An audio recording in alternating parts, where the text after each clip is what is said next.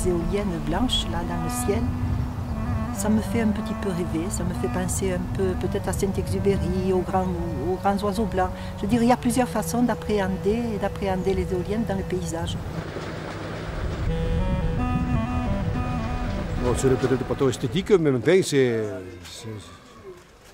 pour le village, c'est, sûrement une, une, bonne chose. On, le voit de, très loin, c'est ça qui, qui t'embête. Enfin, bon, euh, puisque tout, le monde en a, il n'y a pas de raison que nous n'arrivions pas ici. Euh, je trouve ces machines euh, splendides. Hein. C'est vraiment le fruit d'une technologie de pointe. Elles sont d'un aérodynamisme, d'une pureté, d'une beauté de ligne superbe. C'est très beau et ça n'a rien de polluant. Le bruit n'est pas du tout euh, désagréable. Non, simplement, ce qui m'interroge, c'est euh, l'absence de réflexion qui a été faite sur l'implantation. C'est-à-dire qu'on s'aperçoit un peu partout, moi je prends la route souvent, et je me rends compte qu'il y en a de plus en plus, ce qui d'une part me fait plaisir, mais d'autre part euh, me pose la question, vers quoi allons-nous dans 10 ou 15 ans?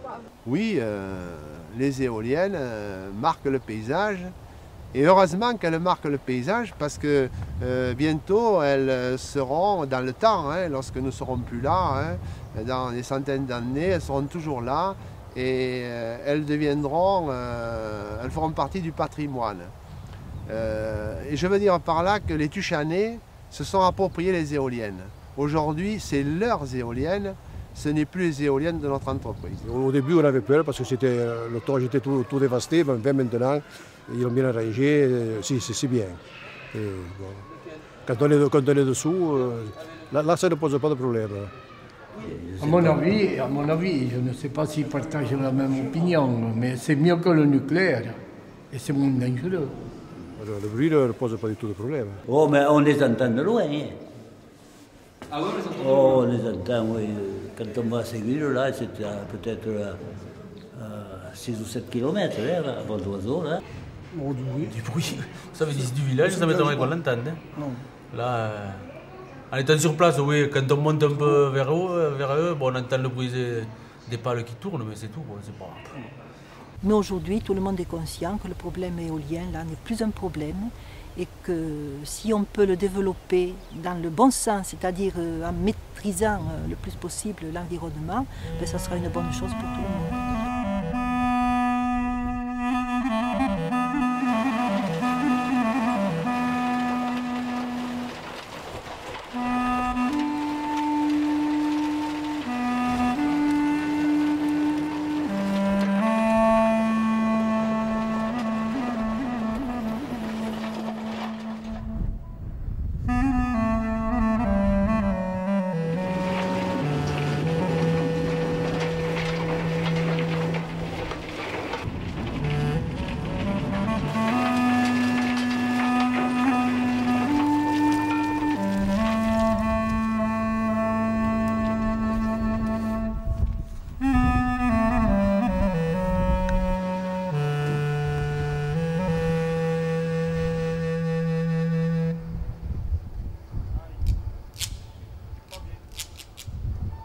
Travaux nécessitent d'aplanir euh, une partie du sol et de, creuser aussi pour faire les fondations des machines. Donc euh, forcément, à ces endroits-là, euh, la végétation sera perturbée. Mais si ce travail est géré en amont, on peut limiter les, nuisances et les, dégâts sur le milieu naturel. C'est ce que l'on fait nous ici en délimitant des zones euh, où on a remarqué qu'il y avait de nombreuses espèces intéressantes. Nous sommes la seule entreprise qui étudie les sites, qui définit les projets, qui ensuite fait le montage technique, euh, juridique et financier de ces projets, les réalise et les exploite.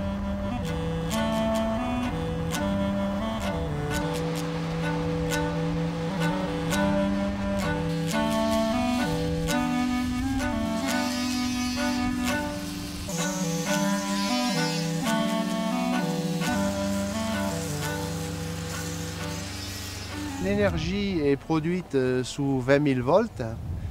Elle est introduite sur le réseau national euh, au poste source de Totavel, poste qui est exploité par EDF.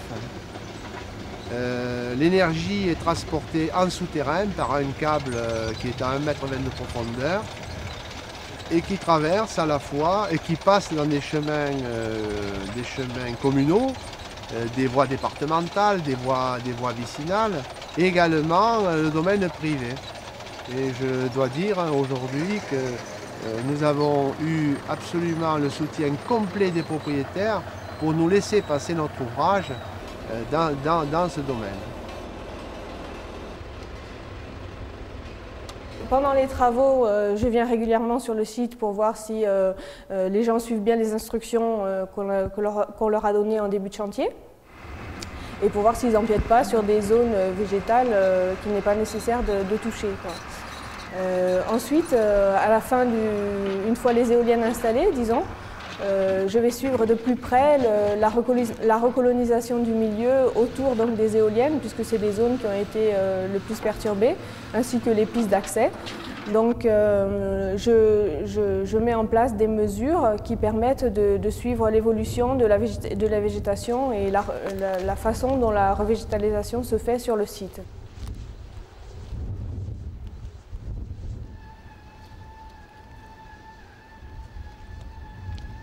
Ingénieur écologue son rôle, surtout au niveau d'un chantier comme, celui-là, d'une ferme éolienne, c'est de faire respecter en fait euh, le milieu naturel.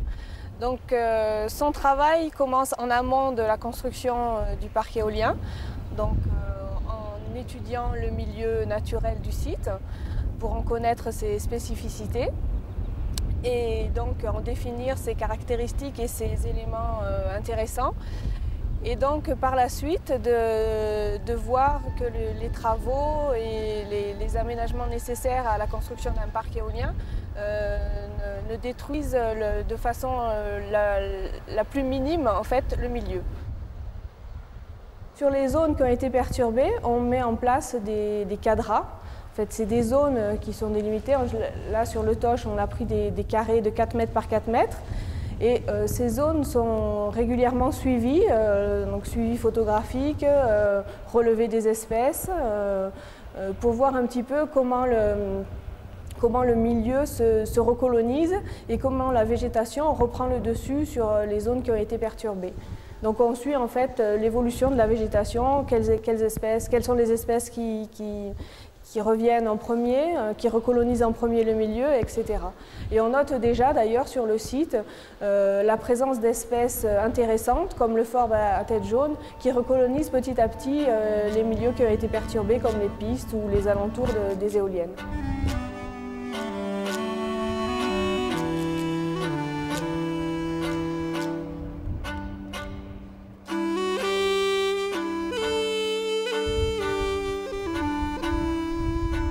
Confié à la LPO, donc la Ligue de la protection des oiseaux, une mission de, suivi euh, sur les espèces nicheuses de, de, la montagne de Toche pour voir un petit peu euh, les, réactions et euh, l'impact que pouvait avoir la présence d'éoliennes sur, sur leur biotope.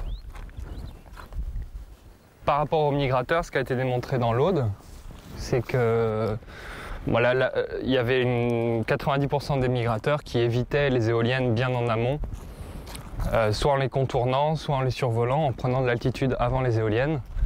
Donc ça, c'est quelque chose qu'on connaît maintenant, en sachant que dans l'Aude, on a quand même un couloir de migration euh, européen très important. Donc pour nous, c'est une des priorités, quoi, la migration. Le site du Toche sur Tuchan est quand même en marge des, couloirs de migration principaux. Donc c'est pas euh, sur ce site-là, c'était pas un enjeu primordial pour nous. C'est un pipitrousseline, donc un oiseau euh, de milieu ouvert. Donc ça c'est une espèce euh, assez patrimoniale. Elle est inscrite à l'annexe 1 de la directive oiseaux. Donc c'est en fait une liste d'espèces qu'on estime prioritaires en Europe, donc qu'il faut conserver à tout prix. Donc là, sur le site euh, du Toche, il y a euh, de l'ordre de 3 à 4 couples de pipitrousselines. donc ce qui nous intéresse aussi, c'est de voir leur comportement, une espèce qui parade en vol. Bon là, ils chantent posés, mais c'est relativement rare. C'est une espèce qui parade en vol, qui chante en vol. Et ce qu'on veut, c'est une des priorités, c'est une des espèces prioritaires par rapport à, à l'impact de l'éolien sur ces populations.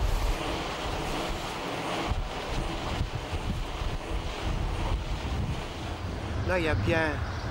Je me demande une longueur des pales. J'ai calculé 20 mètres, c'est ça, hein?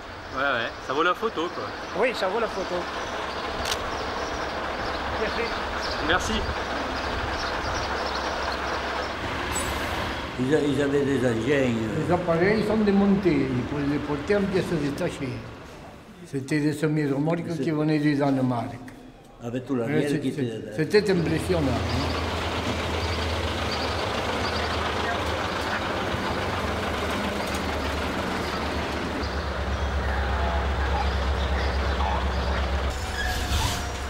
Ah, C'était assez impressionnant, oui, vu la longueur de- des, des tubes qu'ils allaient mettre en place. euh, Là, surtout sur ce tournant, là, c'est assez coton. Vous savez, ils prennent, toute, la, la rue, mais euh, ce sont des professionnels. hein, donc ils, euh, le village ne les gêne pas. hein. Les camions sont articulés. Enfin, euh, c'est- plutôt pour monter sur le torche que, que, que c'est dur. Là, hein.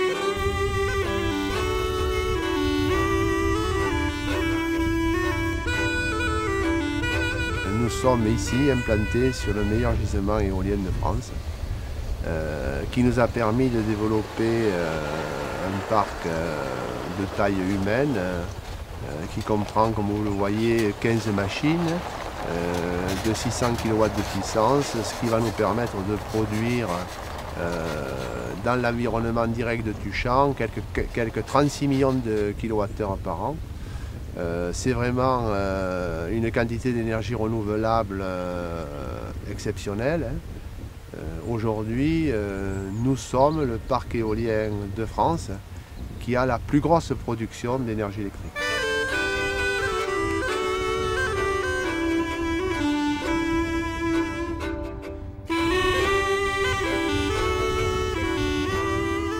Aujourd'hui, le matériel installé à Tuchan est du matériel qui trouve son économie. Nous n'avons pas besoin d'aide, d'aide externe euh, pour un tel projet. Ce projet n'a pas été subventionné. Ce projet en lui-même euh, est rentable. Il sera amorti en, en six années. Ici à Tuchan, la moyenne annuelle du vent est de 10,30 mètres secondes. Donc euh, globalement 36 km à l'heure de moyenne toute l'année. Ce niveau de vent nous permet de développer euh, une production électrique qui va être euh, nominale, c'est-à-dire à sa puissance maximum, pendant 4000 heures. Les gisements éoliens français ont des puissances nominales de l'ordre qui, ont une assiette de 2500-3000 heures. Nous sommes sur le site le plus productif de France. Le bâtiment que vous avez en face de vous est un bâtiment conçu pour recevoir le public. Au-delà des problèmes d'hygiène et autres, tous les moyens de sécurité existent. On est au poste de contrôle. On- d'ici, on peut contrôler toutes les machines, surveiller les machines, euh, redémarrer les machines. Donc euh, vous avez le, le système d'exploitation MITA technique, qui est le système qui est, euh, qui est livré avec euh, les machines Nordex et qui nous sert à nous à savoir en temps et en heure les productions de chaque machine, savoir toute la vie de la machine.